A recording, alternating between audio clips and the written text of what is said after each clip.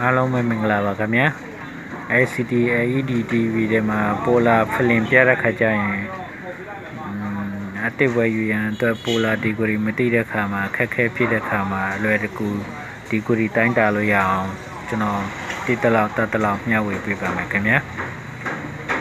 ဈေးကွက်မှာလာတဲ့ပိုလာဒီဂရီတွေကတော့0ဒီဂရီနဲ့45ဒီဂရီဆိုပြီးတော့နှစ်မျိုးလာတာတွေ့ရပါတယ် အဲ့ဒါကြောင့်0 degree လား45 degree လားဆိုတာကျွန်တော်တို့တိုင်းတာလို့ရအောင်ပထမဆုံးအနေနဲ့ mobile phone အပြတ်တွေထဲကနေ LCD မှန်တစ်ချက်ကိုကျွန်တော်တို့ရှာဖွေပါမယ်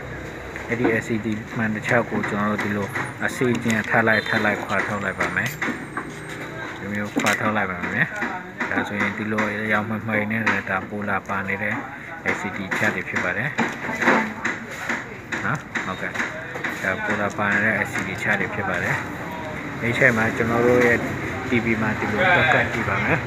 ။ကတ်ကြည့်လို့ဒီလိုအရှားလိုက်မှာရုပ်ပေါ်နေဆိုရင်ဒါ0 degree ပေါ်လာဖြစ်ပါတယ်နော်။ဒီလိုတောင်းလိုက်ကြရင်သူကရုပ်ပြောက်သွားတာဖြစ်ပါတယ်။ဒါလို့ဒီလိုအဆောင်လေးထားပြီးမှအယောက်ကစီလင်ပြတ်သားစွာပေါ်လာမယ်ဆိုရင်တော့ဒါ45 degree ပေါ်လာဖြစ်ပါတယ်။အဲဒါကြောင့်လည်းဒီကိုကျွန်တော်ရှာဖွေတင်ပြလိုက်ပါတယ်။ဒီလို sound